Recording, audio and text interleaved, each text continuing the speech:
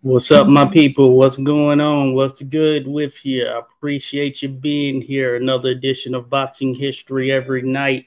Ready to get this thing kicking off per usual.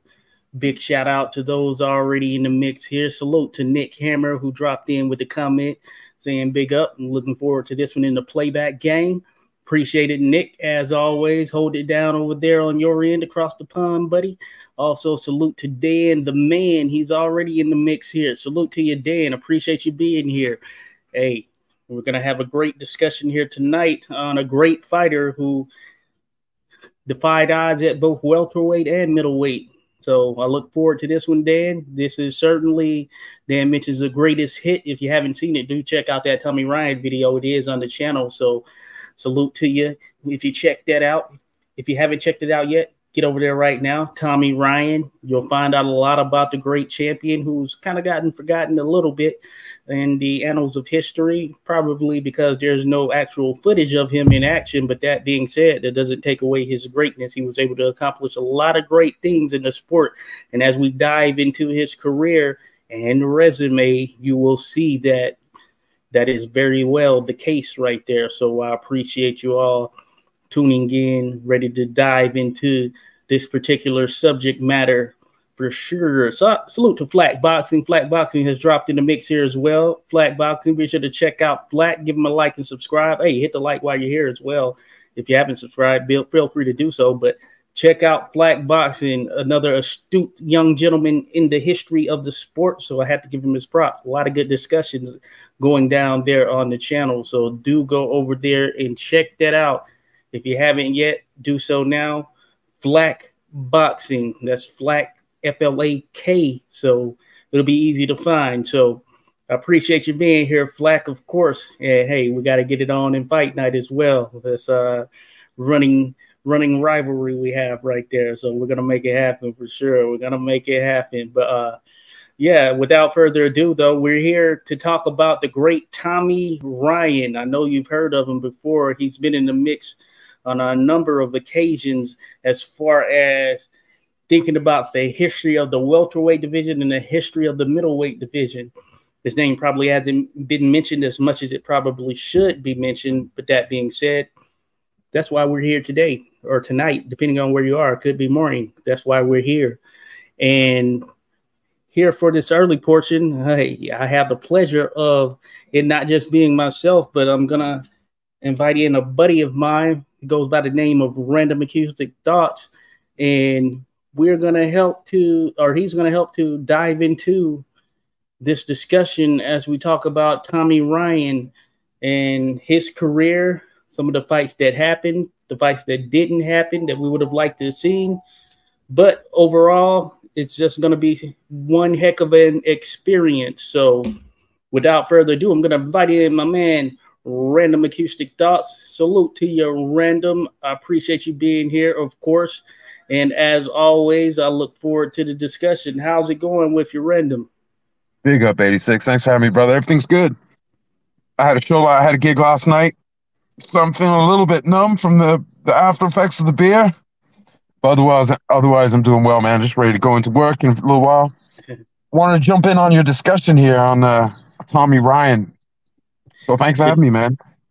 Good to go. Good to go. I appreciate that right there, Random. I appreciate that for sure. Um, so yeah, we're gonna dive into that real quick. Hold up, I see someone. Okay, I see you, son. Make it do what it do. Shout out to my mom who decided to drop in uh, for this discussion right there. I appreciate you, uh, Mother, for being in the mix. This is going to be a good one. So I always enjoy that you check it out, be able to share this knowledge in boxing history yourself down there in the great state of Arkansas or Arkansas, as some say. But without further ado, we might as well jump into it. So the man himself the man himself is Tommy Ryan. Once again, that's who we're going to be discussing. I'm going to put a graphic on the screen right now, as a matter of fact. And I think that you all will get an appreciation for the great Tommy Ryan, just given the fact that he is he has an impeccable record when it really when it really boils down to the finer detail. When you think about just him as a whole, 82 wins, two losses, 13 draws, six no contests, or six no decisions rather. and two no contests. He had 68 knockouts in those 82 wins. He's from Redwood, New York. Tommy Ryan, he had a stint in which he was adopted as a youngster and he ended up ultimately running away from home or leaving home, however you want to slice it, at some point during that period as he got a little bit older in life. And thinking off top, I believe he ended up going to Pittsburgh, Pennsylvania, I believe, but I'm going to double check on that. Uh, but that being said, you see the record right there. So you know if you're going to put up those type of numbers, then that means you must have been pretty solid there in the ring. And he was one of these guys who was noted for his ability to box from a fundamental scientific standpoint because he was very he was very astute to the game in itself.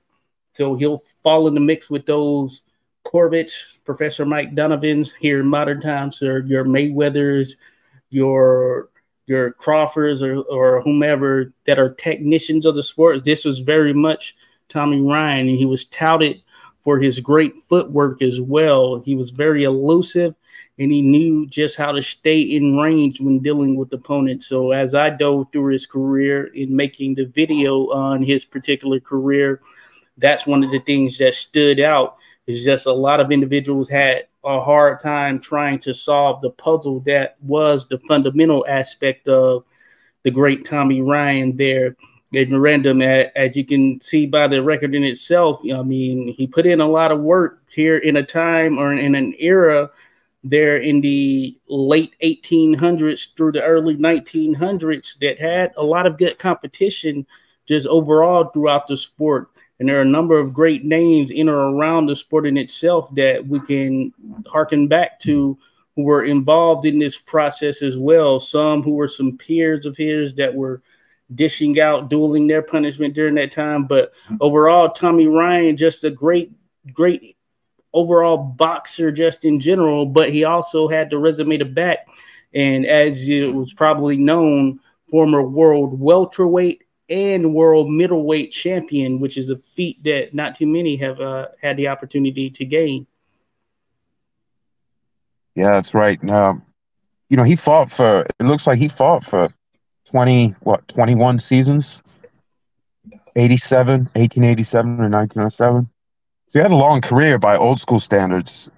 But um, some of the guys who fought as long as he did, some of them had a lot more had a lot more fights, but he kept a fantastic win loss record over that time. And you know, even losing like even his I think wasn't his first loss to Kid McCoy. So even in even in a very rare defeat, he's losing the class. He's not, you know. But uh, yeah, man, it seems like at the beginning of Ryan's career, at least this what's what's known to us, because again, we you know there's a lot of uncertainty about how busy some of guys or even their opponents were actually were. But looking at BoxRec, seems like 87 through the 90 season, a little bit quiet, but then in uh, in 91, he beats uh, Danny Needham. And would you say 86? That's probably his first like real choice win. Yeah, no doubt about that. That is uh, certainly his choice choice win, and it's also one of the fights that you typically don't see a lot of the individuals be involved in because it went 75 rounds, if I'm not mistaken, somewhere in that neighborhood, over five hours. Just a long fight where those two were battling it out. Now, there were some areas or moments in which it wasn't a lot of action in some of the rounds and it picked up in the latter portion of it but still just to think about 75 or 70 plus rounds in general over five hours of fighting that's insane yeah, and uh, you know, obviously, when when the fight has the potential to be that long, certain matchups, you know, they're gonna game plan to have something left in the tank. You know, there's like a meta game of that overlying stamina and damage that adds up over when you're basically just keep adding rounds. But uh, pretty incredible and shows, you know, not all wins are created equal equally like if you're fighting 70 something rounds, you know, you translate it into today's into like 12 round fights, title fights. I think this wasn't this for the American welterweight championship.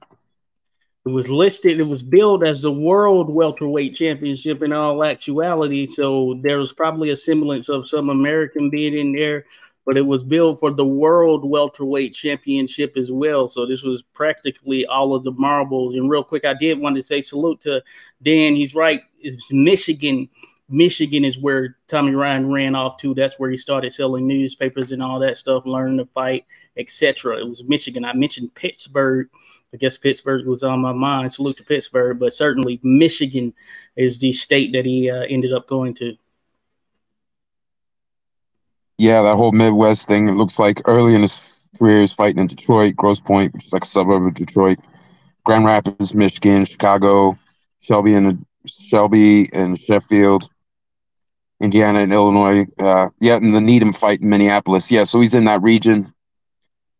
Uh, I'm not I'm not as familiar with him as other guys, but scrolling down, it looked like in '94 he made his way down to Boston, fought New York, in Connecticut as well, as well as back up in the Midwest. So he did move around a little bit, but yeah, that that initial making his name, and I'd be interested. Well, I guess I don't know how popular it is to research his early career as far as in the archives, but I'd be interested to see some of these guys like Ryan, how much work they actually did early in their careers, like their initial seasons, because he doesn't have a lot. He doesn't have a lot of high level work in those first few seasons, and also not a lot of fights by the standards of the time.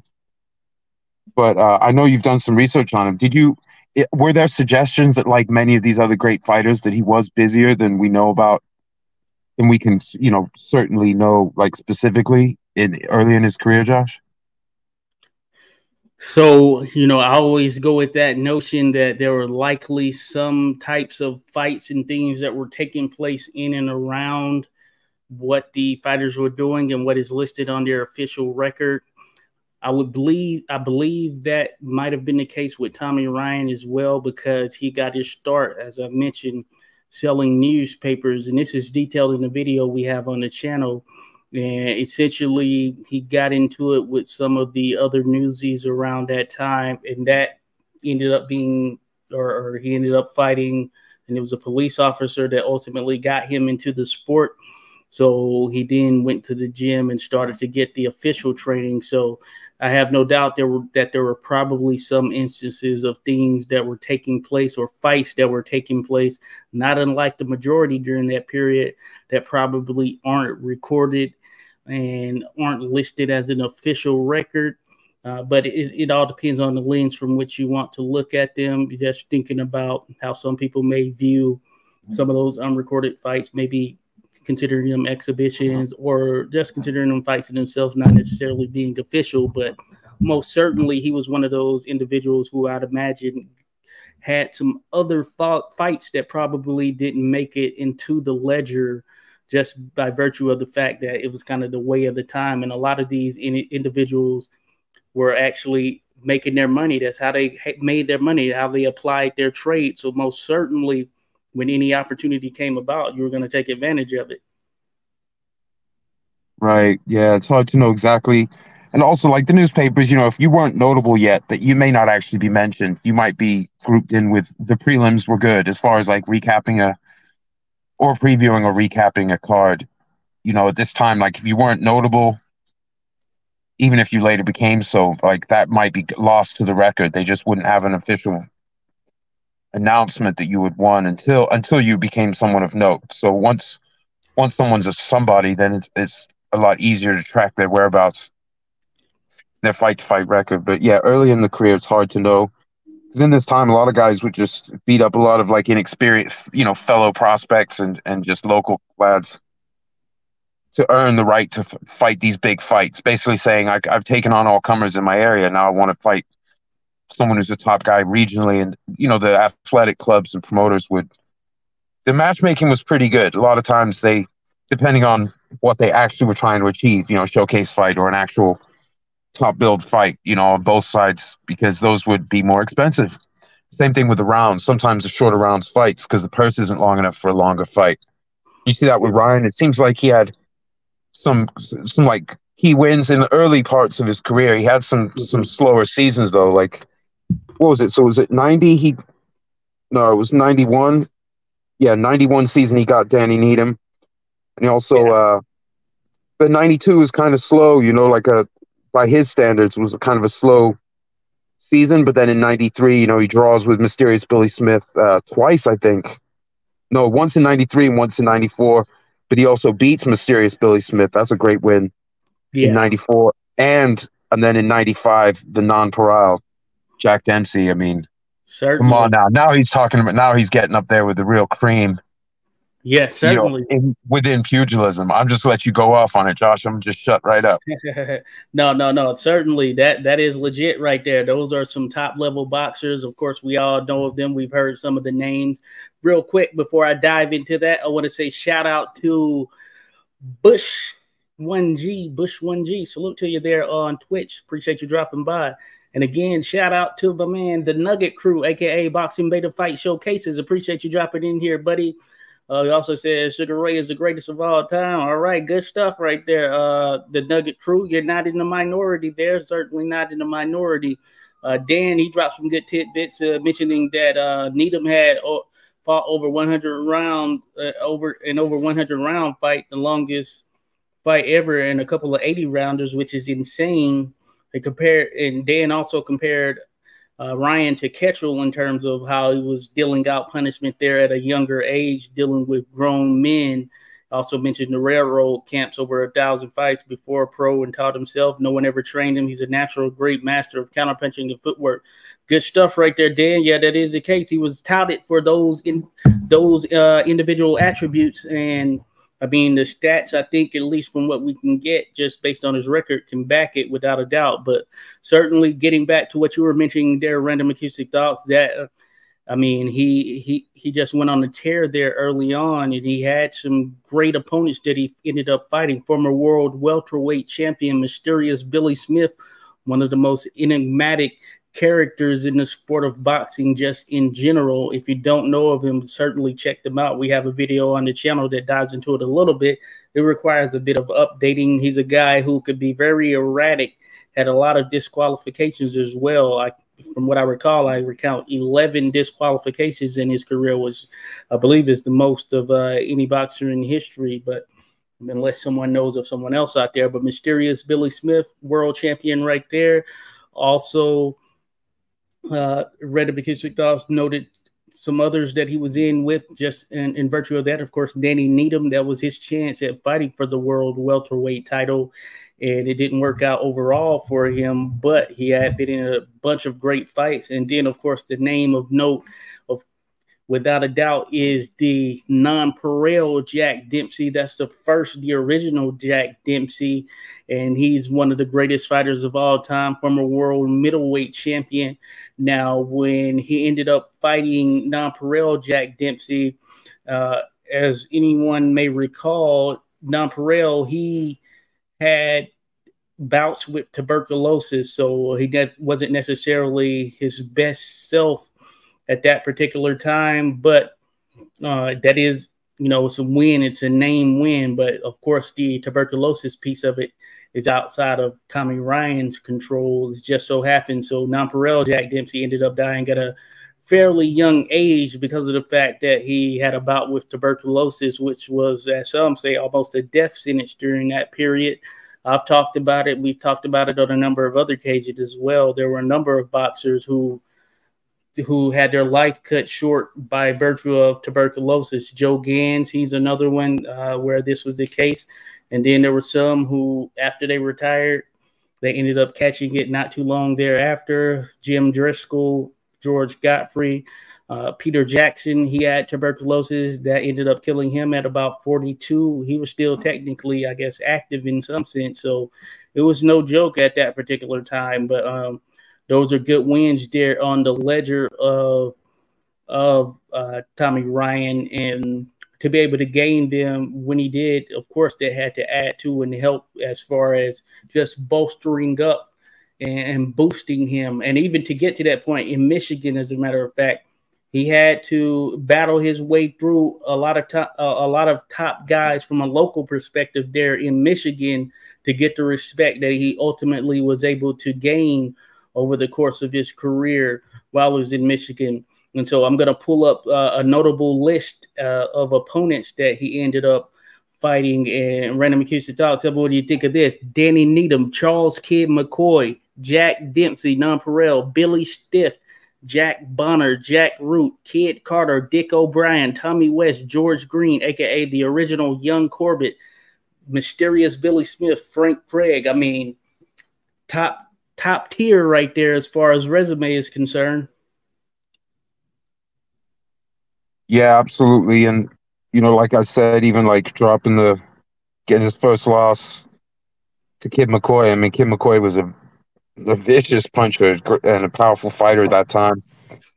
Yeah, he uh Ryan was able to get some really quality wins, and unlike a lot of guys, so he has like a a nice middle point, almost like an echo of a of a modern career, like precursor to that sort of thing, where he had some padding early in the career, to get the experience, and then he had the high level fights, but considering the length of his career, he wasn't particularly busy in a lot of those seasons.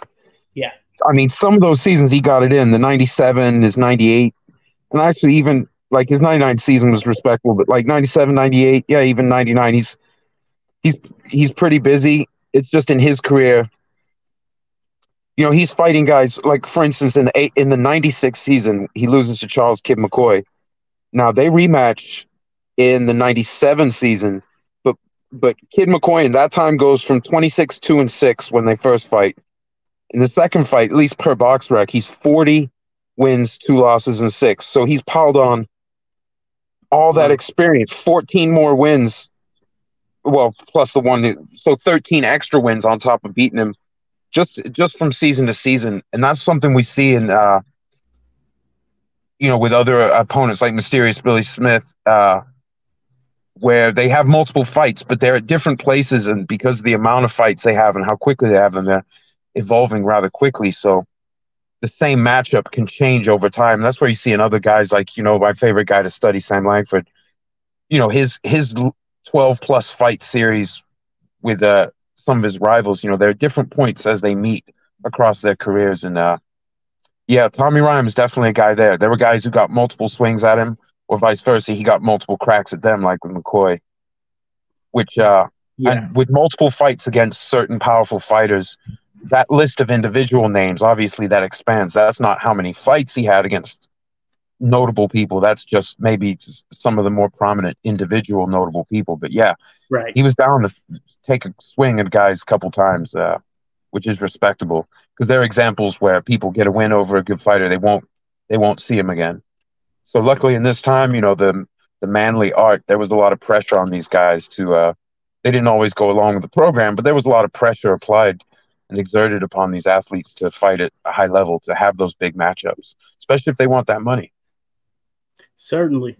Certainly, yeah, yeah. You know, uh, money talks, as they say. Money certainly talks. But no, you you touched on some great things there, and this is on top of a number of exhibitions that actually took place. So Charles K. McCoy is someone who ultimately, I guess you can say, ended up being his greatest rival in some sense. And the story goes, and there was reporting to match such, and this is what is captured in a video that was completed on him is that McCoy was someone that he actually, he being Tommy Ryan, brought into his camp while McCoy was a bit younger and earlier in his early in his career.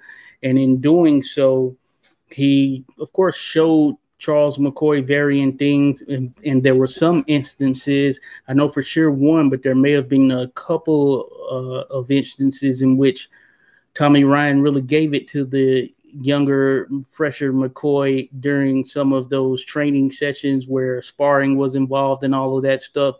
And it was stated that McCoy really didn't like such, and he kind of harbored some ill will towards him uh, because of him showing him up in some of those training sessions.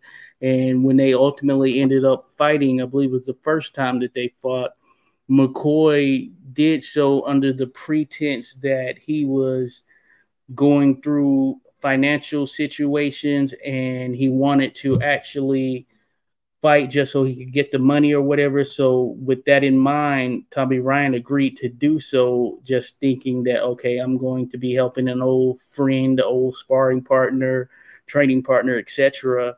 as he's on his journey. He's going through a situation right now, and he didn't really go all out in training for this particular fight. And by the time that the fight came, McCoy he had put in all of the work that needed to be done to really make this, uh, to really ensure that he was in the best shape of his life and was going to be 100% game for whatever came. And he ended up defeating Tommy Ryan because of such. So that's uh, one of the things that I reported in the actual video that is done on him on the channel. So ultimately, what that's what that end up doing is fueling the fire in some sense. So they did become a rival, though the fights thereafter certainly probably didn't have that same type of just elevated view or just the overall feel of that first fight with Tommy Ryan being in there and being put in a situation where he had to go a bit harder than he probably thought would be the case.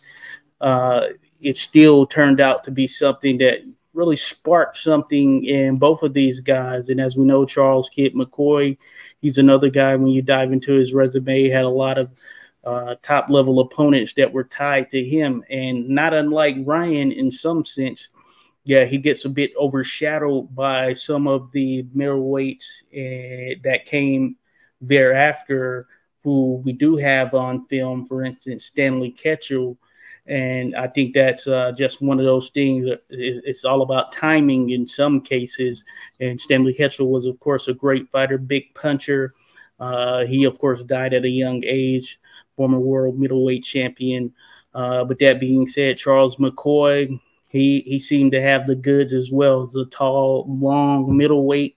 But that being said, he's kind of his name is known. He's probably infamous in some sense, sense because he had some out of outside of the ring issues. There were always something going on with him, uh, and he was actually later in life uh, convicted because of murdering his wife, I believe it's his wife uh, at that particular time. So he came to become infamous in the sport. But during that period that he was fighting, a very talented fighter during that time. So just kind of shows you how boxing is at points, sort of the ebbs and flows, and how some names tend to expand a bit further beyond others uh, as you dive through things.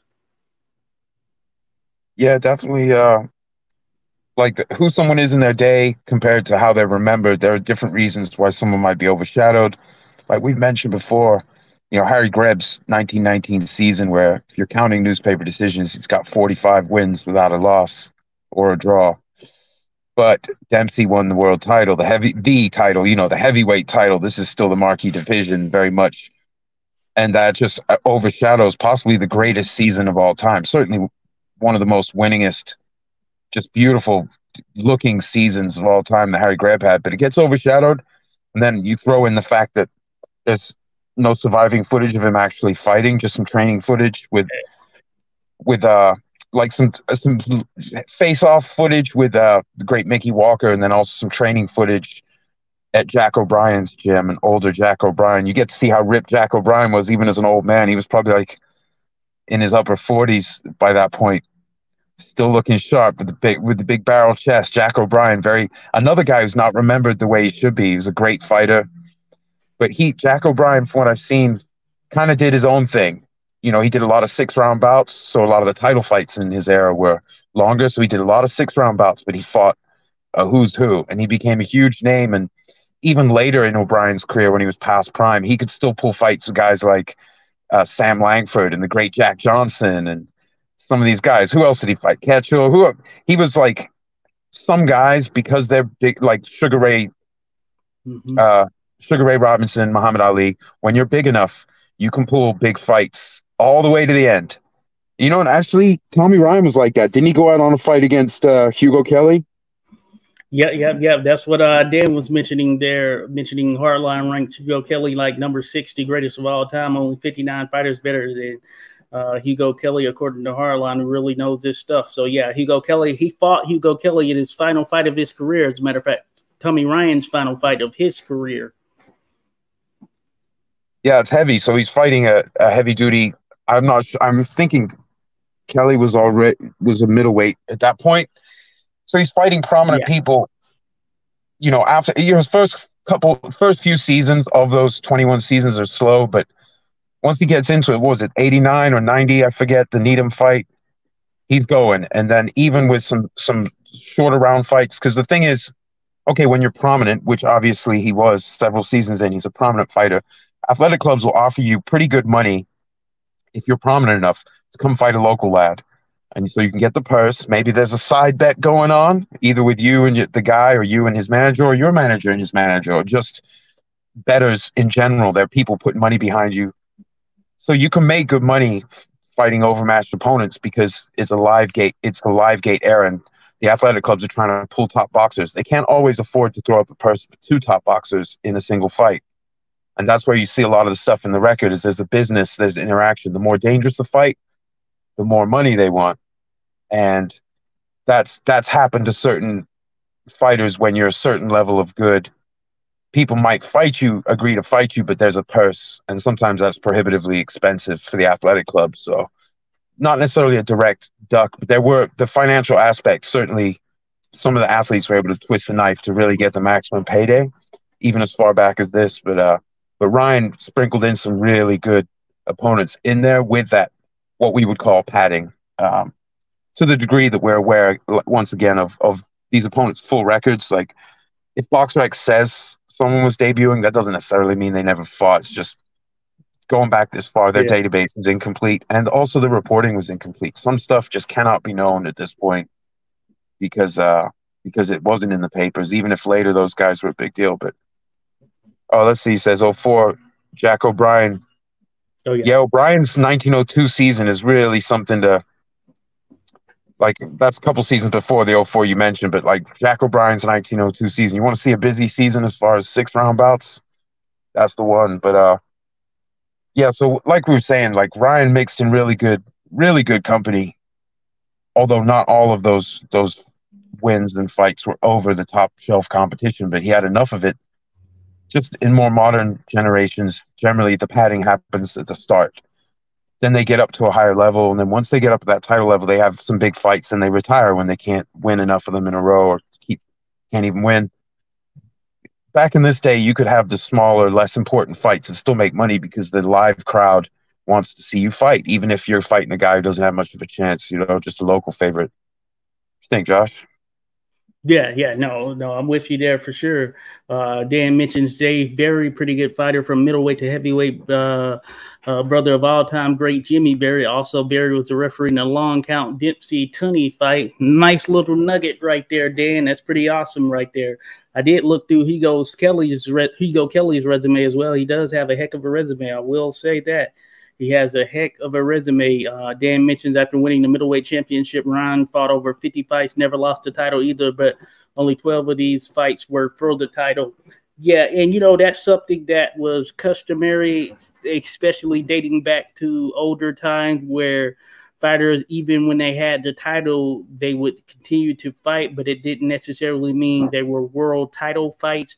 They would sometimes just have fights uh, that would, I guess you can say, be considered stay busy fights, fights, but they would fight against top competition. Uh, certainly back then, so the notion of a stay busy fight wasn't necessarily the same as it is uh, when we mention it today, or at least when it's mentioned in some lights today. But um, yeah, certainly it was customary that these guys would fight some varying opponents as they were going through the process of uh, you know, just taking in that newfound fame and going through or uh, continuing at least to just kind of reap the benefits of becoming champion and just continuing to add upon such.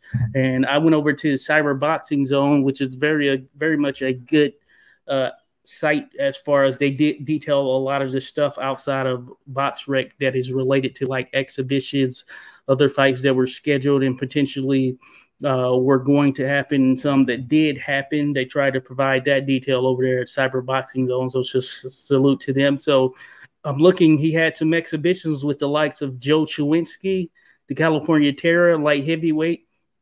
uh, which is uh, which is top notch right there. I'm looking at 1894. It looks like 1894 is when he first uh, ended up taking on him. He had exhibitions earlier in his career. In '92, uh, he had exhibition with Bob Fitzsimmons uh, of all people, which is pretty cool. He had an exhibition with Jim Hall, another top level fighter from that period, big time puncher, not a huge name. Henry Baker, another guy who had a pretty solid resume.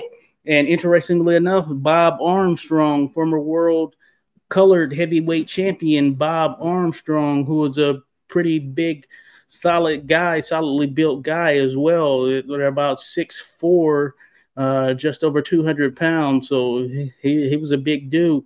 And believe it or not, he actually, and this is someone who came up in our last discussion, as a matter of fact, there and I know there was a lot of things surrounding such, but in 1895, uh, Cyberboxing Zone listed exhibition that was going to happen with Barbados Joe Walcott. It says about was scheduled, but the outcome is unknown. So I'm assuming that it probably didn't happen, but he did fight a common opponent in 1896 in George Kid Lavigne. But I think we could uh, stay there for a second right there. So Barbados Joe Walcott. He's someone who we all know who wanted a, a former world welterweight champion who at five one and a half defied a number of odds as he was on his way up working to get to the status that he was able to achieve. And he was accustomed to fighting men who were actually bigger than him. So it would have been the case if he'd in, in a contest with Tommy Ryan, just as was the case with the majority of his stuff, that he would have been giving up height, reach, and in most cases, weight uh, to a guy like Tommy Ryan. But Walcott was one of those guys who was able to adapt and overcome. And I know it came up. So we looked into in looking into some of the information and reporting that was out there at the time yeah, this was a fight that realistically could have happened. I know that last time I was on, I was saying that uh, there probably wasn't a parallel because of the fact that I was looking at it from the standpoint that I believe Walcott may have won the title in 1901 uh, before holding it until 1906. And then I know that uh, fight with um, Dixie Kid was thrown in the mix, which was a controversial fight that really shouldn't have been a loss for uh, Joe Walcott, if he got the belt reinstated. And I believe Tommy Ryan at the time had moved up to middleweight, but this seems to be a fight that was realistically out there. It was being talked about as a fight that was going to happen. Uh, I know you're able to uh, find such in that regard as well, Random. Yeah, well, uh, Walcott had bef- before even winning the welterweight title. Walcott was a multi-weight fighter. You know, he'd been a multi-weight fighter as a lightweight, but you know, when he's chasing this um this title, he uh Ryan was one of the guys he wanted. His man, uh, Walcott's manager of the time, Tom O'Rourke, powerful manager. He was issuing challenges on behalf of Walcott to pretty much anyone. And uh, yeah, Tommy Ryan, unfortunately for for his legacy as far as the you know the Stark enthusiast, yeah, he drew the color line at times in his career. So, in spite of fighting some really powerful fighters and having a really great career, there were fights, uh, especially with Walcott, that he just did not want. And I think you might have mentioned off air, George Byers was another, but I've actually, yeah, this isn't, I'm not going on anything written later. I'm just going on reporting of the time where, uh,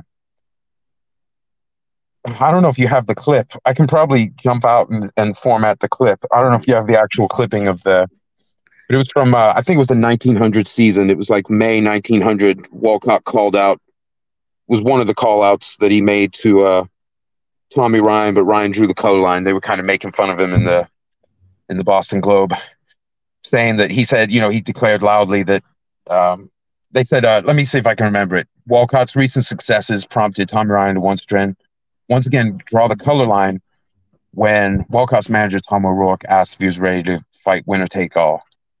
And uh, he had said, loud, declared loudly, he wasn't afraid of Walcott, but no one believed this to be true. That was that was at least that particular writer. That's how he was he was framing it. So there was a call out. Ryan didn't want to know, but even though he was the larger guy, but Walcott, you know, that year So Walcott, he closed out 18 the 1899 the 1898 season. He finished it off a loss. But the 1899 season, Walcott went 12 and 0 with nine finishes, and then started off 1900. I think he won his first four fights, and that was when this article was from. And he'd already stopped Joe Choynski that season. And so, if there was a re, you know, like there was good reason for larger fighters to be wary of the Barbados Wonder, and I guess that included Tommy Ryan. You know, not that he didn't have a great career, but that was absolutely a matchup he avoided. There was money there for that matchup. You know. Yeah, Dan. Yeah. Uh, this isn't. This is uh Ryan was already the up at middleweight. He was already the middleweight king, but Walcott was calling him out at that time and had already beaten Choynski, who was a, lo- a larger fighter himself. This wasn't this wasn't Walcott calling for champion versus champion. That may have happened later. I'm talking about this was uh this was in uh, 1900. This was May 1900 in the uh in the Boston Globe where the call out Tom O'Rourke's is- issuing challenges. Interestingly, also said that Walcott would stop any man Jeffries beat, but stop him faster than Jeffries did. And that's that's quite a proclamation, but uh, you know, trying to get big fights. You know, Walcott was feared enough that men his own size, once he went ran through enough of them, even before he had the title, people were wary of him. But it also included guys in in heavier weight classes, and Choynski is a good example of just because you're bigger and you could be a Hall of Fame level fighter doesn't doesn't mean you're automatically, you know, size counts. But Walcott was a specialist in fighting larger guys.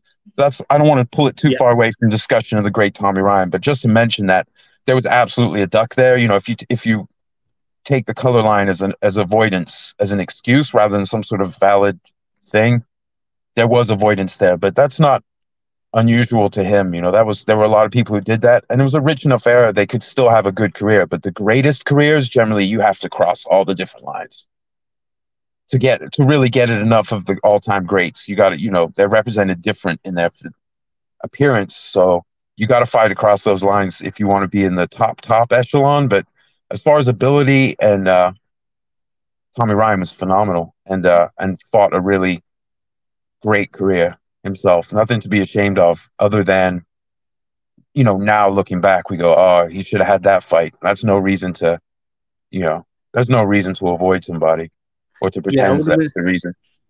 Yeah, that would have been a great one, a very interesting one as well. Just thinking about it from an overall perspective. Real quick, salute to Bruce Gas, Boxing Jazz, and more who's dropped in the building. Appreciate you bringing in here, Bruce. Salute, brother. As always, be sure to check out Bruce Gas. Give him a like, subscribe. A lot of great content that he's dropping over there on his end. Uh, but the Bruce Gas, Boxing Jazz, and more. If you haven't heard, then you're hearing it now. Be sure to go over and check out Bruce Gas. Salute to you, Bruce. Appreciate you being here, of course, as always. And then salute to uh, Joshua Woods. Cheers there to you, Joshua. Says Ryan was great, but I think he is under the likes of Robinson or Greb. Got you there, uh, Joshua Woods. Salute to you. Appreciate you always coming in, share your dialogue. Always great to chat and discuss things with you.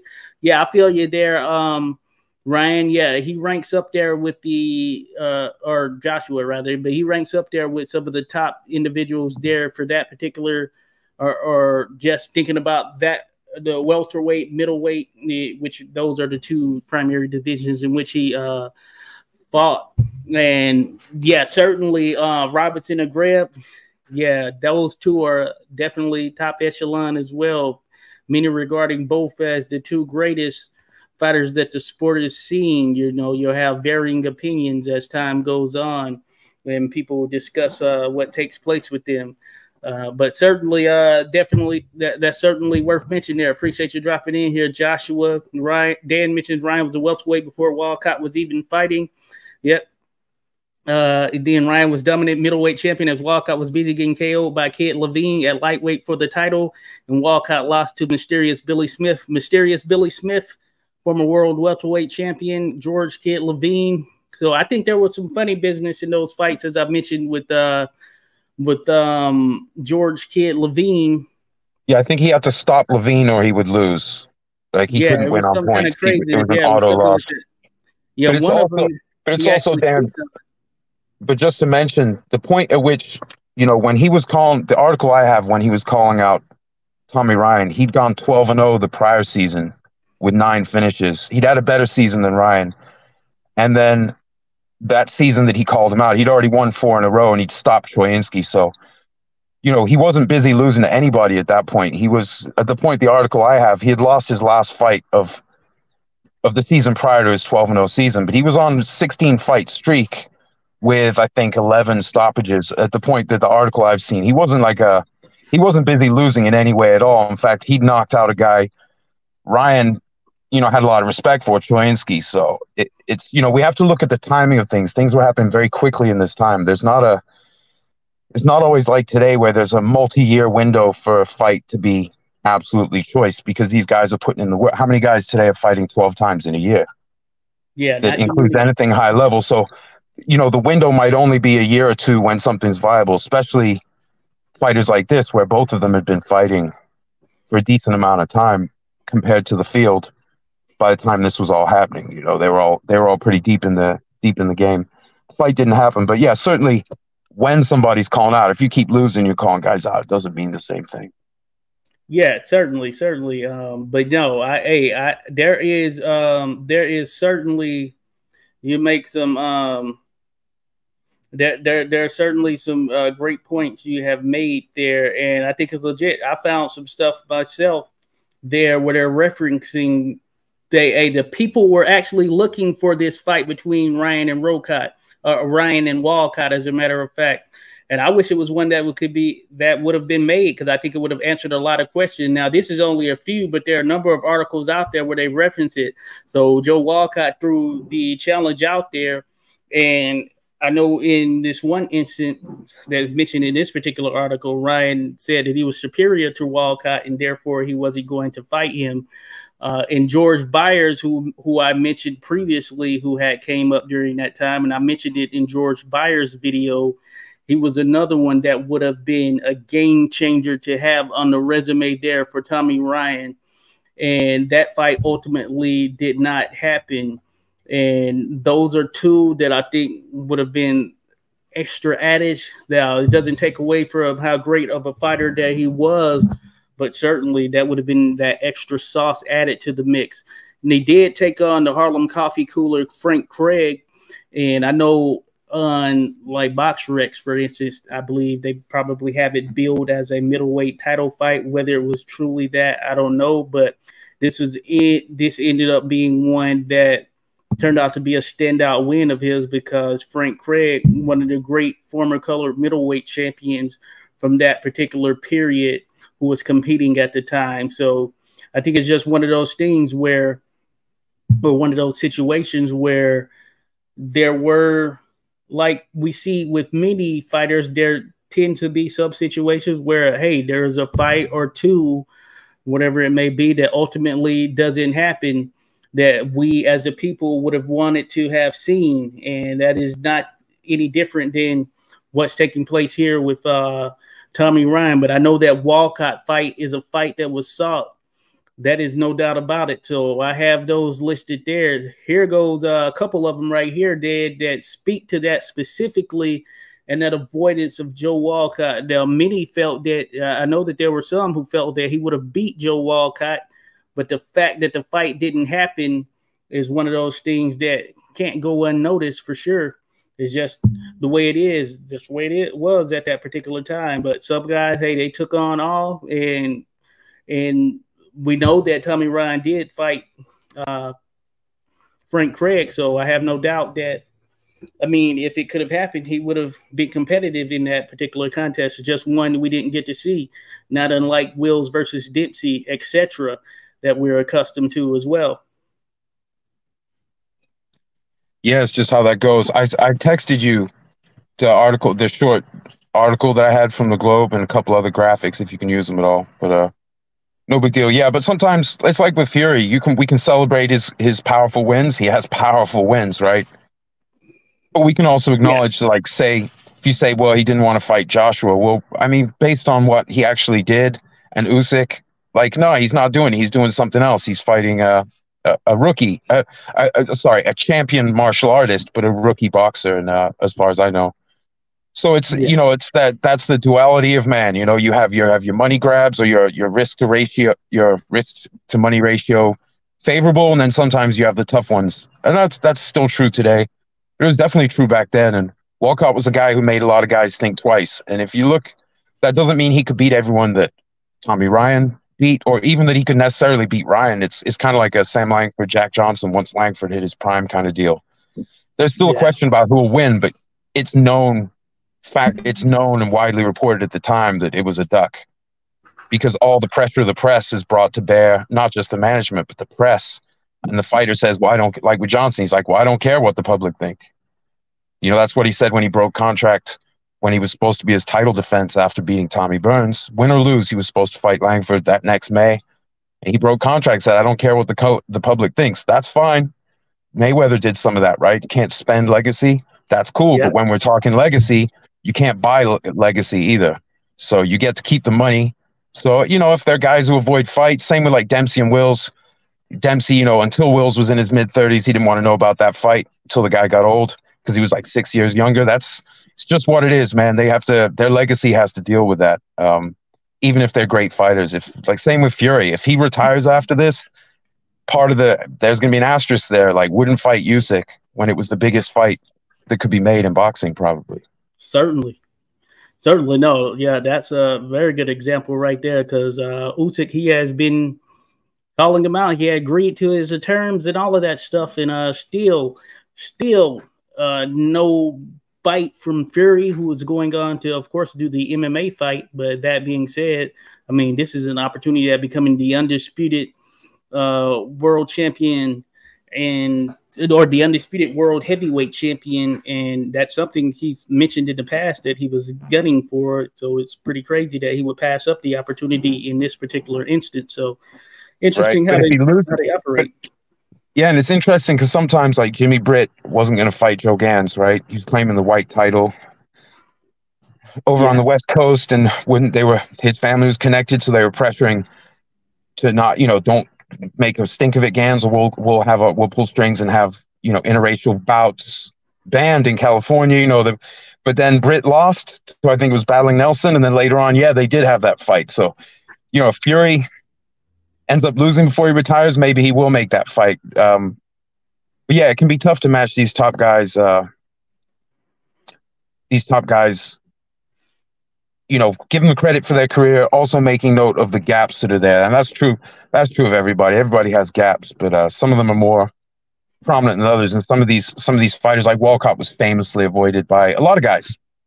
And uh, there was a built-in excuse at the time to say, "Oh, the color line," and the sort of the there were enough people that would go with that because of whatever was going on with them emotionally that you could get away with it. But you did pay a price in the press, and today, looking back, you know, I definitely make note of that. But uh, I have to bust into work. I don't want to end on anything negative. So yeah, Tommy Ryan, great fighter, great stylist, tough as nails, you know, powerful resume, and one of the most, you know, one of the most notable fighters of that of that earlier era.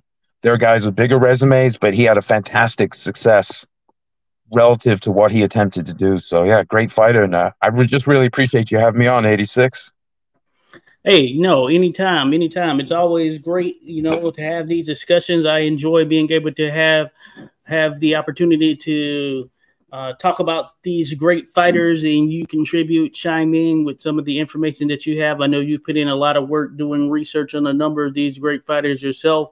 So it is uh it is a pleasure as always to have you on Random Acoustic Thoughts anytime. Uh, certainly, everyone definitely check him out random acoustic thoughts. If you look it up, there there should only be one that pops up, and it is this random here itself. So I'd appreciate you taking the time, random, to uh, drop by. As a matter of fact. Thanks, brother. Good stuff. And uh, I'll listen to the rest of the show at work. Take it easy, y'all. All right. Have a good one. We'll connect. All right, there. Random acoustic thoughts, folks. Random acoustic thoughts. Appreciate you dropping by for this discussion. Uh, Archie Moore made sure Marciano Valdes fight was not going to happen. Good stuff there, uh, Joshua Woods. Yeah, I guess so. That is a pretty interesting one there for sure. Uh, we're talking about the great Tommy Ryan uh, holding it down from you know, they they listed him as Tommy Ryan from Syracuse at points as well. Uh, Syracuse, so I guess that Syracuse area area in general. Dan says random wrong case closed. You're wrong. Slanderous to say about Ryan. You got some study to do that. Hey, uh, hey, I pull up some articles there, Dan. I mean, it is what it is. Hey, Tommy was a great fighter without a doubt. But you know, not every fighter gets to fight every fight. Uh, there are some that we want to see that it doesn't always that that we didn't always get. It still happens to this day, as a matter of fact, and it is a pretty interesting thing for sure. Um, so yeah, we'll see. Shout out to the boss dropped in the Boz just dropped in to say hello. Appreciate you, the Boz. I know it's late there, but it is the weekend, so all things are a go on the weekend, right? Anything goes. So appreciate you, the Boz says I'm on another stream at the same time. Oh, so you're showing love to that other stream right there, Boz. That's how you feel right there. So that's how you feel. I don't appreciate it there, Boz. I do not appreciate it. You're showing love to another stream when you could be here so I had to come on there, boss. So you can be here, but you're showing love to another stream. What the heck does that say right there, boss? Don't repeat that to anyone else. Do not repeat it. it's all good though. Uh, we appreciate you though, there, boss. Joshua says uh, there's a reply to Joshua Fury. Got you right there. Yeah, Joshua uh, Fury. Yeah, that's one that could have happened right there as well. Uh, Joshua uh, Josh and Josh here speaking, but yeah, certainly uh, looks like we're gonna get Fury and Ngannou. We're gonna get Joshua versus Wilder here at some point, I'd imagine, and I look forward to uh, that particular matchup because I think it's gonna be a good matchup between.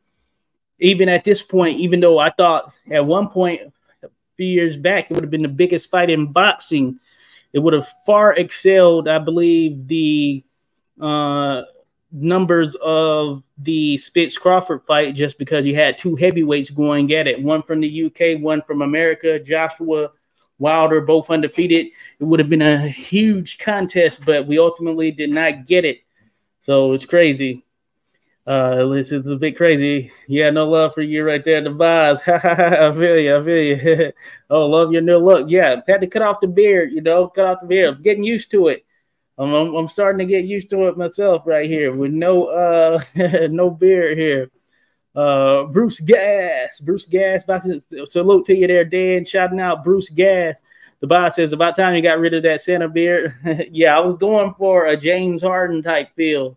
Didn't quite mesh up the same way, but certainly uh, it's one that uh, you know, I had there for a good little while, and uh, it, it it, it, you know, I might grow it back at some point. I might, you know, I'll have to see how things go. But I like this kind of. I'm getting used to this new look. Looks so weird when you cut off your beard after such a long period of time, because this one I have been growing for two plus years, maybe even three, uh, probably almost or near the neighborhood of three years. But yeah, just one of those things for sure. um, so uh, you look a little like Tim Witherspoon now. Salute to Tim Witherspoon. I know Bruce Gas, Boxing Jazz, and more always had, you know, he's had a number of discussions with Tim Witherspoon there on his channel. Check out Bruce Gas. Check out Skywalker Boxing, who has a show. I think they do it on Sundays, Monday or Sundays, but I think it's Sundays with Tim Witherspoon Jr., the Tim and Tim show. So salute to you, Skywalker Boxing, uh, for sure. Uh, Dan mentions Bruce Bruce Gas. Yeah, Bruce Gas had hopped on. Looks like Bruce is live over on his channel right now. As a matter of fact, uh, actually the other stream was boring me. Good to go. That was a sign right there, boss. That was a sign. You needed to be here. Uh, but I'm involved in a convo in, in the chat. Hey, that always tends to happen. I appreciate everyone being here as we've had these varying chats and things of that nature relating to the great Tommy Ryan. So at the end of the day, that's why we hear the great Tommy Ryan, one of the greatest middleweights and welterweights that the sport has ever seen. I mean, there's no other way you can slice it. He's just top notch in that regard. And if you haven't, it's worthwhile to definitely dig into his career because he was a true pioneer during his period. And he has a lot of great contests, wins, victories, resume to back such. And it's pretty amazing how some of these great fighters get kind of lost in the shuffle a bit over the course of history. But I guess when you're looking for that sort of instant satisfaction or things come instantaneous, it can happen. But he's one certainly you need to keep tabs on because he was a great fighter during his time, and uh, certainly uh, one worthwhile. Uh, the Boz talking about people in their forties talking about the dating life. Oh my goodness, there, Boz. Sounds like a uh, sounds like a craze right there.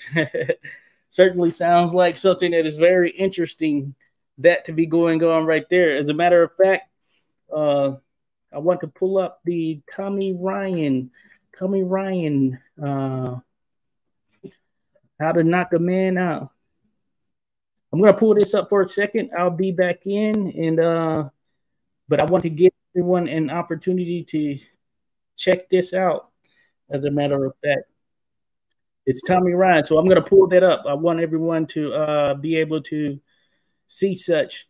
Uh, it's Tommy Ryan. We don't have any video or footage of him in action.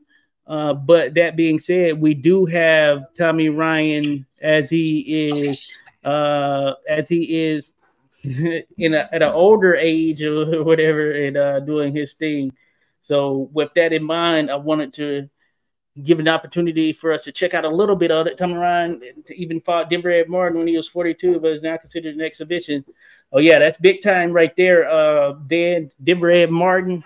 As a matter of fact, a recent video on the channel, a recent long form video at least, that is one on Denver Ed Martin, who is one of the great heavyweights from that particular period. Um, he he was very clever, crafty boxer he could sometimes take, you know, end up losing some things uh, due to his chin. But that being said, a very good boxer, very good boxer overall. Give me a quick second. What I'm gonna do is I'm gonna share my screen to watch this video here for a quick second, but I will I will be back for sure. I will be back for sure, but I want everyone to check this out. In my no- time, I met all comers, from lightweights to heavyweights, and I retired the undefeated welterweight and middleweight champion of the world. The difference is, in my time, to win the championship, you had to knock a man out. I've heard that a generational boxer crops up every 10 years in the sport. This could be taboo, but if I had any say so, I'd bet that boxer is Shakur Stevenson today. Now, 100 plus years from now could tell a different story. For this video, we go 100 plus years back to a guy who at that time garnered some of the same generational praise. He is now universally considered one of the greatest fighters of all time. He was born Joseph Youngs, but the world came to know him as Tommy Ryan. Born in Redwood, New York on March 31st, 1870, Tommy Ryan's parents were of French and English descent. Ryan was left as an orphan at a young age, but was adopted by a wealthy Syracuse, New York family. At some point, Tommy would run away from his foster parents' home, settling in Detroit, Michigan, where he would sell newspapers to earn money. This turned out to change his life drastically as disputes over territory with other newsies, including those bigger, forced him to fight in order to make a stand. After licking all of the big newsies, this attracted attention, and soon enough, he was learning to apply his newfound trade in ring. This is when he adopted the Irish name Tommy Ryan, which upset some Irish Detroiters who felt that no man who wasn't of Irish ancestry should be able to take up such name. For the time being, it was Tommy Ryan of Syracuse. It was this prejudice that gave Ryan his first big break. Ring founder Nat Fleischer had the following to say of Tommy Ryan in a 1947 edition of The Ring magazine. Ryan, whose natural fighting weight was 140 pounds, was an ideal boxer. He possessed all the good qualities of a successful pugilist. He had speed, cleverness, a knockout punch, and was a keen ring general. Tommy Ryan made his professional debut on January 1st, 1887. At 5'7 and a half with a 70 and a half inch reach, Ryan would ultimately be most associated with the welterweight and middleweight divisions in boxing. Ryan would rack up five straight knockouts before fighting in Detroit on April 30th, 1899, against Detroit native Martin Shaughnessy, knocking him out in the 23rd round of a fight to the finish with two ounce gloves. The two would rematch on June 18th. In the 48th round of a fight that lasted nearly three hours, Ryan landed a left to the neck that sent Shaughnessy flat on his face, unable to answer the count. The fight took place in front of about 100 spectators, with Ryan winning $50 in addition to gate receipts. Ryan was a student of a time when fighters fought to the finish, and the only way to win a title was via knockout. Fights going well into the double digits as far as rounds were a thing of the norm. On June 6, 1890, Ryan would need only three rounds to knock out Henry Slaughterhouse Baker in Grand Rapids, a fighter who fought the likes of James J. Jeffries and Frank Childs in a short but tough career. On December 10th, Ryan would win a three round newspaper decision over Frank Gerard in Chicago, a fighter who mixed it up with former world champions Joe Gans and Matty Matthews. By the time 1891 rolled around, Tommy Ryan had a record of 15 0 1 and had passed every test thus far. Lucky for him, the boxing world had started to take notice, and on February 17, 1891, he got the opportunity of a lifetime in a fight against the St. Paul Terror, Danny Needham, in front of around 1,200 spectators at the Twin City Athletic Club with the vacant world welterweight title on the line. The fight would turn out to be a classic, though not because of sustained action throughout, but more for the implications and the overall length of the contest. The two men wore two ounce gloves, the first quarter of the fight was rather tame as the two men paced themselves for the road ahead. The first knockdown came in round 37 when Needham landed a shot that floored Ryan, who was able to recover. Up to the 59th round, neither fighter had a scratch nor had blood been drawn. In the 61st round, the referee threatened to stop the fight if neither man closed it soon, forcing the two to step up the pace with a nice exchange of blows in the 62nd. After four and a half hours of fighting thus far, the seconds for each man started to jeer and encourage for more action. By round 67, the clock struck 2 a.m., with both men tired and not offering much through the 68th. In the 74th round, Ryan landed a left to the jaw that sent Needham staggering into the ropes, though he was able to recover. In the 75th, Ryan landed another hard shot on Needham even fouling Needham several times, which caused a commotion. In the 76th round, Needham came out groggy and was caught with a left to right combination that sent him staggering into the ropes. With both eyes. All right, folks. All right, back in the mix here. That was a quick. I had to step away for a quick second. Uh, yeah, work getting done at the house. You know, you can't plan for that, or uh, or at least sometimes some stuff happens unpredictably. So craziness, craziness right there. Uh, real quick, catching up on the. I appreciate everyone staying here. Would love to see his style in boxing. Certainly, certainly there, Joshua. Amazing. Tommy Ryan and Jeffries and Bob Armstrong were a three-man traveling trio. Oh yes, that's good stuff right there. You know, uh, in the Denver Martin video, I mentioned that. Yeah, apparently Tommy Ryan he trained James J. Jeffries while he was actually competing for that James J. Corbett fight. So that's pretty amazing right there. Salute to you, Ross Clot, 222 says up 86. I'm tuning in. Appreciate you being here, Ross Clot. No doubt about it. Uh, so yeah, uh, that's pretty crazy. Um, yeah, that he uh, trained James J. Jeffrey, so he was legit. He was still kind of in kind of fighting shape or spirit at that particular time. He might have been still fighting, as a matter of fact. Jeffries and Armstrong had them fight 50x. Oh, uh, you're on it, Dan. See, Dan, you're on it. Yeah, that is the case right there. See, you're on it. Talking about what I'm talking about there. Joshua say, I have this film in my collection. Good stuff right there, Joshua. Appreciate it, buddy. Appreciate it. Go to the BoxRec and read about Ryan, not his record, but his BoxRec bio. Very good. Oh, yeah, certainly, certainly. He uh, was one of those guys, man, it's almost a travesty. He doesn't get mentioned as much as he probably should these days. Uh, many people tend to not go back that far, but when you do, and you dive into his history as well as just the overall history of a number of those fighters from that time, from that time, then you realize the greatness that is being missed uh, during that period, and it's it's it's pretty much crazy that that tends to happen. But Tommy Ryan, man, one of these great fighters who should be mentioned more when you think about great welterweights and middleweights, he ranks amongst both. And he wasn't even a huge middleweight. He was a smaller guy, so he was his optimal weight. If we were to put him in this era, would probably be 154 pounds. That would probably be his optimal weight because he often fought at the middleweight limit, being under middleweight, being down in the low 150s, you know, and he could get down to the low 140s in all actuality. So it is uh it is uh pretty crazy to think about it. Uh, Joshua says all there's some work with the uh, dub lip. certainly, certainly there, Joshua. All good. Um, so certain what one of the things, hey, that video is worth checking out for sure. If you haven't seen one, Tommy Ryan, Tommy Ryan, it's a video worth checking out. Uh, it's on the channel, the 86 Boxing channel. Uh, how to knock a man out because that's what Tommy Ryan had to do back in his day. That Needham fight is the real deal, legit. So got to know. Uh, Dan says he could be the greatest. You're right. He's always listed amongst the greats, but he could possibly be the greatest.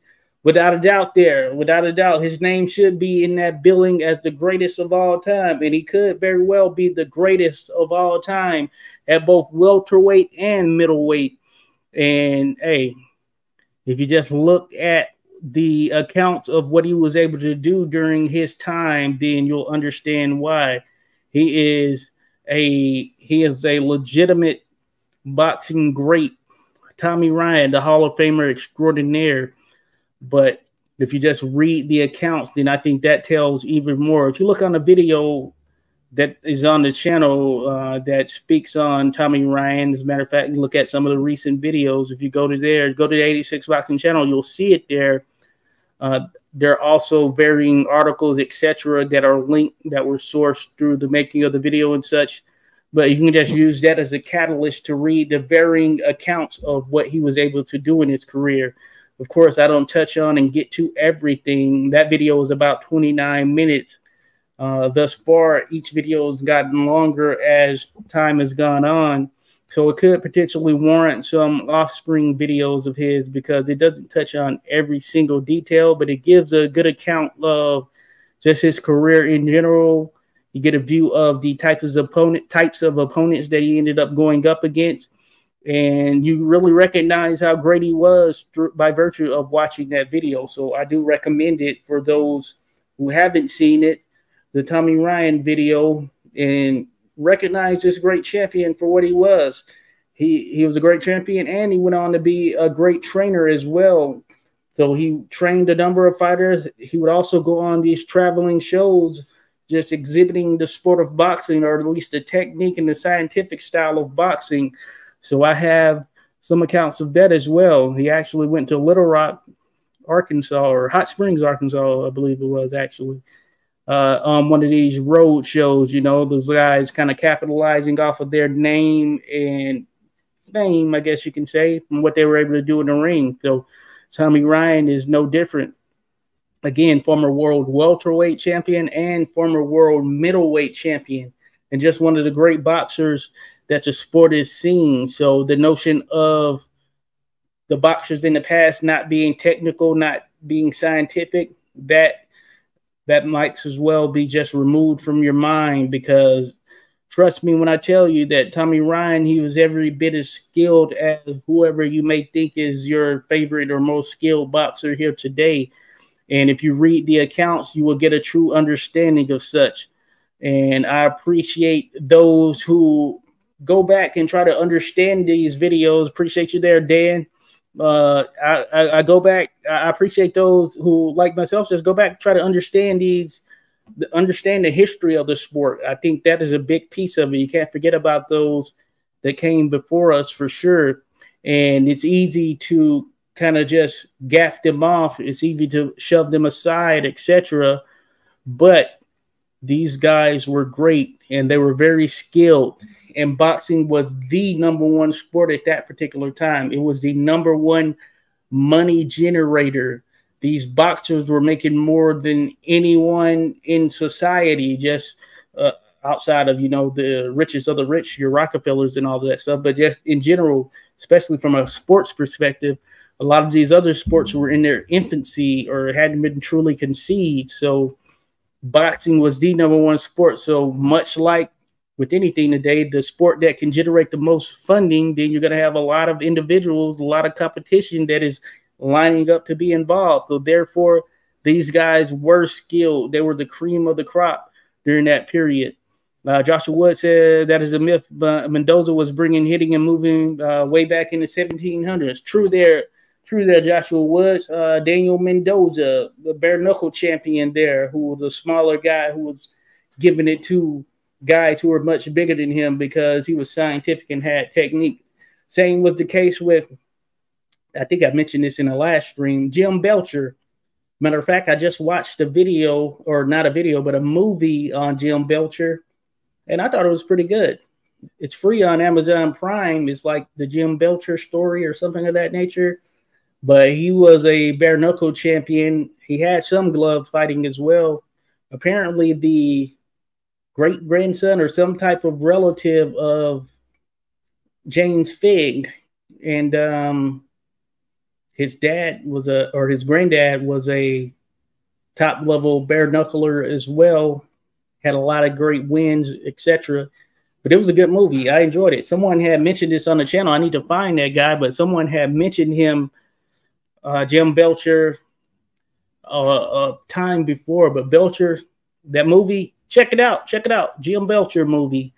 Um, I think you will enjoy it if you just want to learn about some of the bare knuckle era, and then it dives into, of course, a glove fight, which was uh, one of the latter career fights and I think it's worthwhile. He went up against Henry Pearce in an epic 18 rounder where those two just gave it their all. And uh, Belcher ended up losing. He had lost an eye or had an eye that was his vision was messed up in his eye. One of the eye, I think it was the right eye because of or left eye because of a uh, handball or racquetball, one of the two. It said racquetball on Wikipedia, but in the movie it was like handball or something that she got hit in the eye. But worth checking out. Jim Belcher makes me want to do a video on him, but it was a cool story. It it isn't rated high, but I don't know why on Amazon Prime, but I thought it was a very good movie. I think you had to be into it. Uh, Dan says Jim Mason in the mid 1800s was teaching great skills and one punch KO strategy. Certainly, certainly one of the ones that discovered the great Bob Fitzsimmons right there, Dan. Good point right there for sure.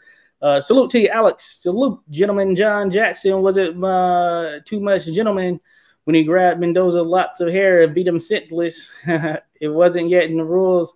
A fighter couldn't grab uh, heads of hair. Oh yeah, that's pretty crazy right there, Campbell or uh, Alex. That is pretty crazy to go about it in that route. See, I, I don't know a ton about Mendoza's overall career, so that is an interesting one. I need to look into that. But yeah, that's pretty insane. I know you can get away with some stuff. Uh, certainly in the bare knuckle era, even in London Prize uh, fighting rules, the London Prize ring rules, you could get away with some things. There was some extra holding, clinching, etc., uh, that you could do. There were spiked shoes and things of that nature. I know of guys getting spiked, you name it, the full gamut right there. Pretty crazy.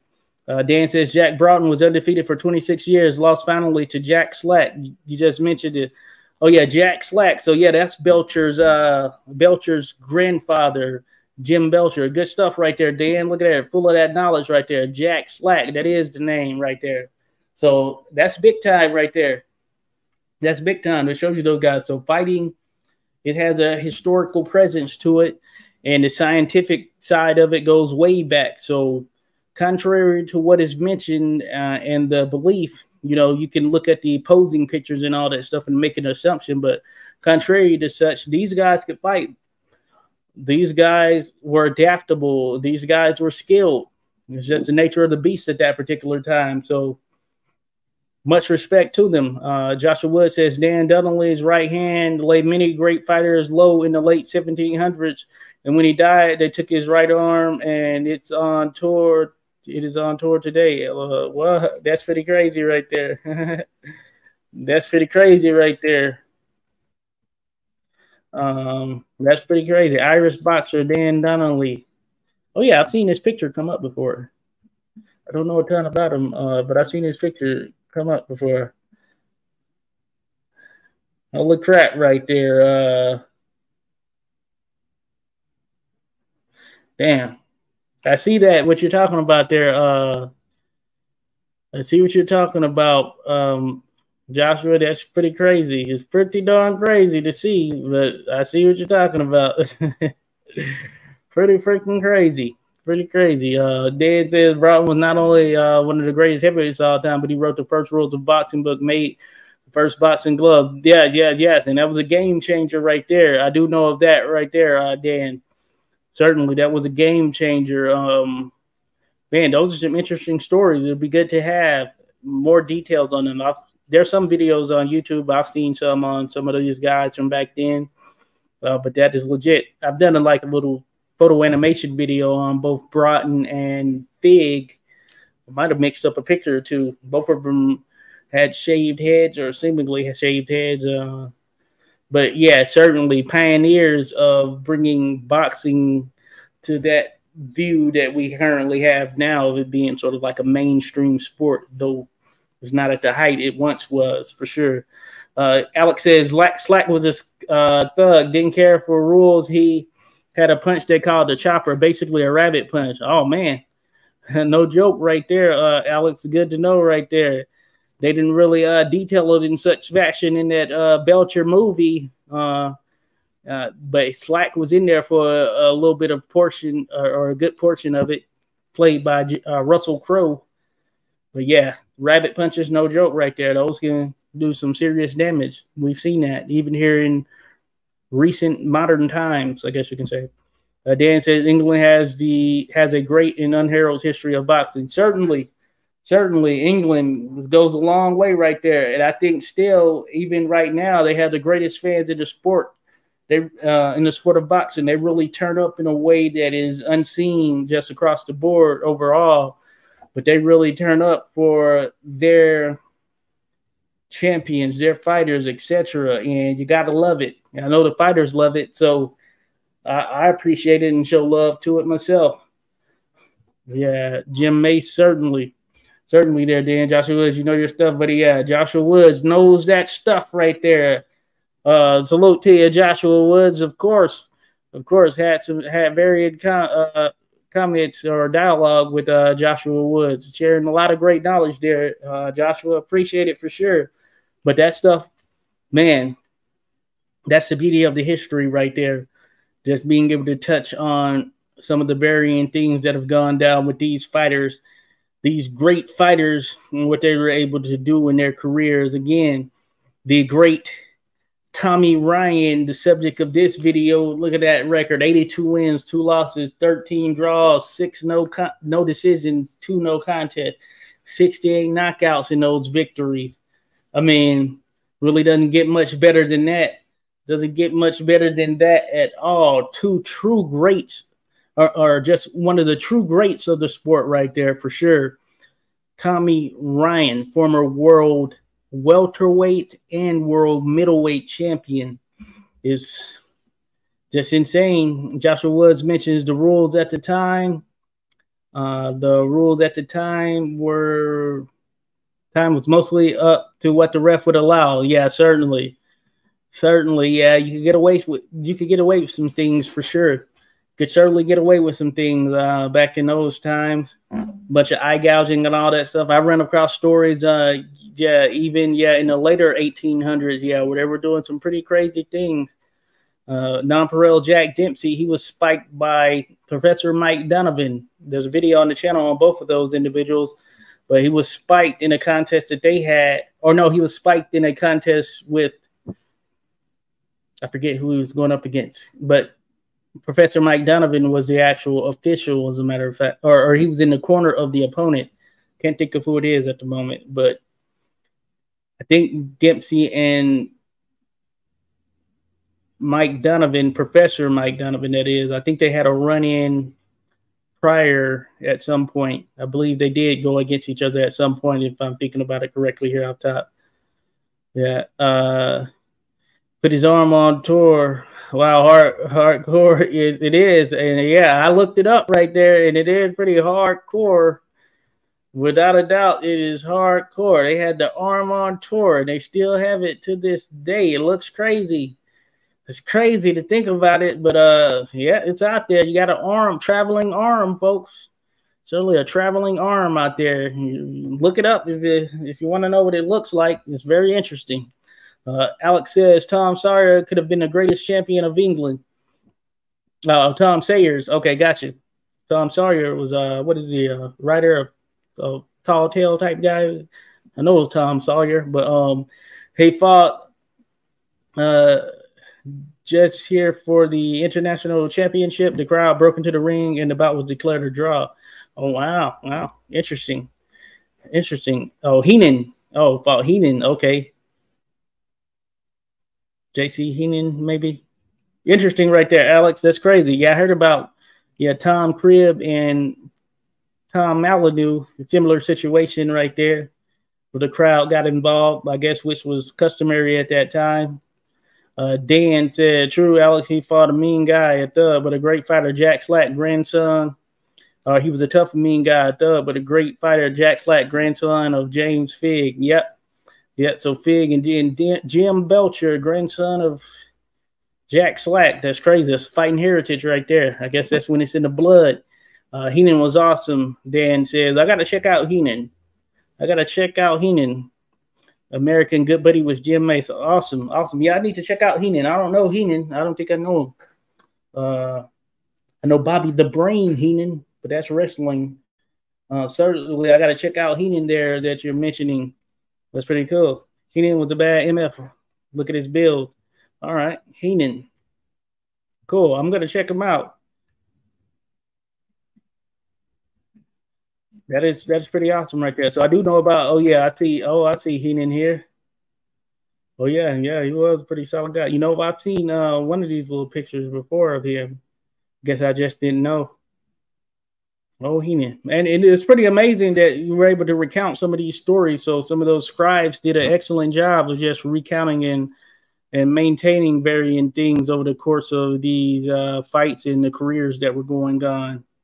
So big ups. That's that's kudos right there for sure. John C. Heenan. So he had three fights. So three fights. Tom King, Tom Sayers, a draw. Oh yeah. That was two hours, 10 minutes. Insane. John Morrissey. John Morrissey. Yeah, that's insane. That is some good stuff right there. I know this bare knuckle world is a crazy one. John C. Heenan. Good stuff there, Dan. Yeah, I just caught him right there. Yeah, he's a solid guy right there. Solid guy. Yeah, he was a solidly built guy. 196.2. Good stuff. New York. Oh, he died at 39. What the heck happened? 39 in Wyoming. Hmm. I wonder what happened to him there. But you know, those are hard times, hard men, hard circumstances that they were dealing with during those periods. Most certainly, Benica boy got it. Benicia, Benicia, or that's what it is there, Alex. Good stuff. The first Cribb Molineaux fight, the crowd uh, were into it. Yeah, yeah, yeah, yeah. Certainly, yeah. I, I had uh, read up and heard some mention of that particular fight right there. Uh, what Joshua yeah, when they came in, some broken fingers were involved, a mix of varying things, uh, from what I recall. Very interesting, right? Very interesting how that goes down. But yeah, hey, you know, there's I did a video on Jack McAuliffe, the first light heavyweight champion of the world. And I know in one of those fights, I can't remember who he was going against, but it was a situation where it looked as though he was about to get knocked out, and then the crowd stormed the ring, and there was a bunch of commotion.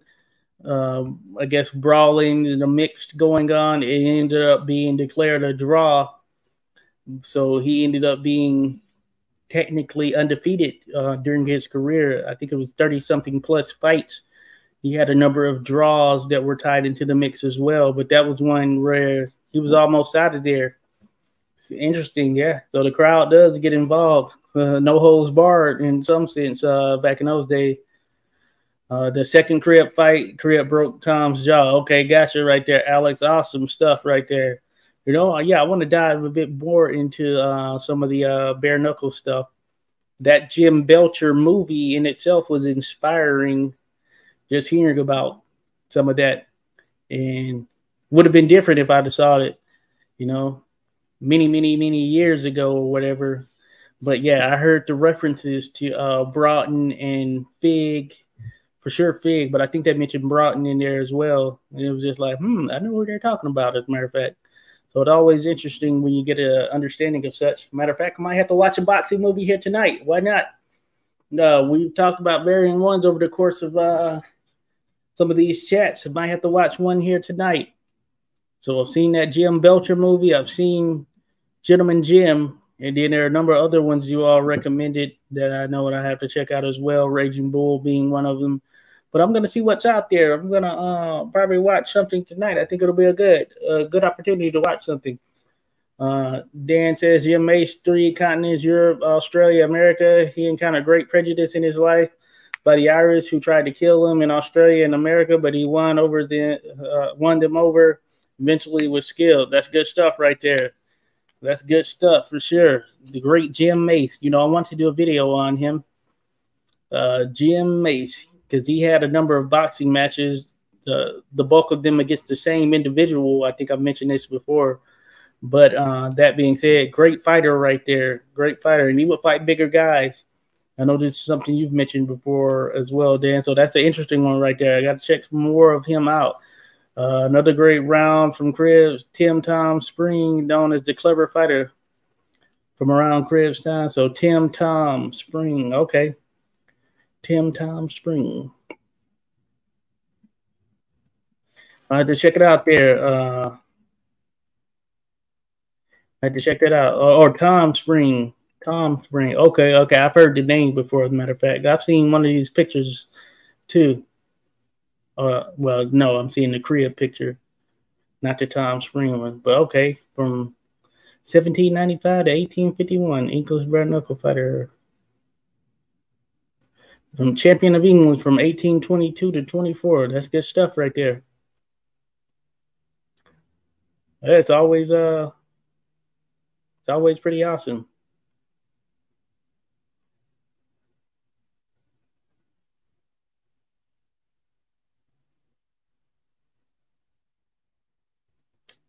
hey, it's good that we have some of these uh, historic accounts to uh, fall back on. Certainly. Oh yeah, I believe that Dan. So he's considered a gypsy and undesirable. Yeah, yeah, that's how they do with the uh, gypsies. Last fight at age 78.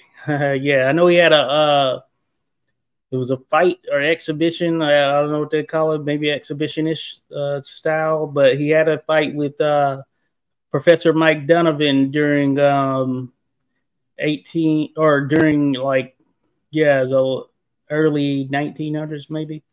I know he was a little bit older in age, but th- those who were getting at it, Professor Mike Donovan is another one who was pretty solid. The hand that shook the hand of John L. All right, good stuff there, Joshua Woods. Shake the hand, shake the hand of John L. Sullivan. So he also shook the hand of Sullivan died 79 penniless in a gypsy camp. That's pretty crazy considering such a great fighter. Sad story to see there with some of these great fighters who uh, end up that way right there, Dan. Dan Dunley had the same problem uh, Sullivan and mainly plain old Silks had whiskey. Gotcha right there, Alex. Yeah, that could be a challenge for sure. Yeah, that seemed to be an issue for Jack Slack, according to that movie, that uh, Belcher, Jim Belcher movie. Jack Slack had his uh, runs with the same thing there. It's crazy how that is, huh? That's what was. I wonder, meet, uh, wonder meeting and shaking hands with Larry Holmes if I am in line of getting a handshake from John. maybe right there, Joshua. Maybe, maybe that is the case right there. that is funny though. I think so. I shook hands with Larry Holmes too. Hey, look at that. That's good stuff right there. I haven't run across Larry. I haven't run across Larry here during my time. Uh, maybe one of these days, the great Larry Holmes, I'll uh, run across him at some point for sure. Uh, we'll, we'll see how it goes, but man, great stuff. Yeah, I have some work going on here at the home as well, so got to tend to some of that here. Uh, but man, this has been great.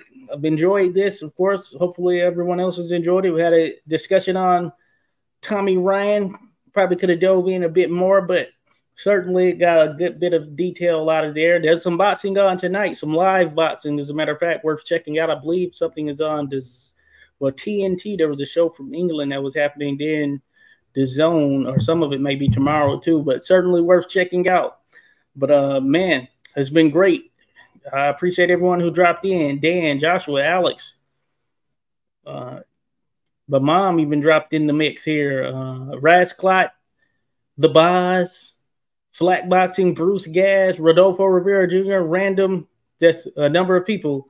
Uh, the great Madame Voca being a John L. Line. Yeah, yeah, you both probably are, but um, certainly, Boz, appreciate you there, Boz. Yeah, we're getting ready to head out of here. That, that's really good. Hey, we'll discuss it there, Boz. We'll have to discuss that for sure. Um, that's pretty funny though. But no, this has been great. We got into a little bare knuckle discussion, and probably more of that is worthy of discussion as we move forward too. So, gonna look up some stuff. Talk about Bill Richmond. I I, I heard about him on a NPR, a little National Public Radio uh, discussion that took place a number of years back. So it's always good uh, checking out that. But as it relates to John L. Sullivan, oh yeah, Sullivan was a mean looking dude when he was younger for sure. Shake the hand that shook the hand of John L. Sullivan, as they say. Holmes meet Lewis, met, who uh, met Dempsey, who met Tunney, then Corbett, who met. Hey, you might be in that line there, Woods. You shook the hand of the hand that shook the hand of the hand, you know. So that's pretty. That's pretty awesome right there. Yeah, yeah, yeah. That is pretty awesome right there. so we're in that Sullivan lineage, that Sullivan line. Cheers to John L. Sullivan of uh, the Boston Strong Boy, first world heavyweight champion. But no, this has been great, uh, man. So we're gonna do it again. We'll see what's up for next week. I'm gonna set something up for sure. Uh, but hey, I hope to catch you all here. In the meantime, check out that Denver Martin video if you have it, and let's talk about what other discussions can come about. Uh, enjoy your weekend, folks. Enjoy your weekend for sure. What about? Oh yeah, yeah, certainly there, Alex. Hey, many have taken on that trait right there. Got to end the fight before the fight starts. But uh certainly enjoy your weekend, folks. Hey, I appreciate everyone who dropped in.